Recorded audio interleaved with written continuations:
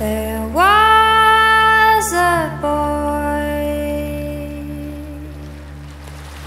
a very strange, enchanted boy. They said he wandered.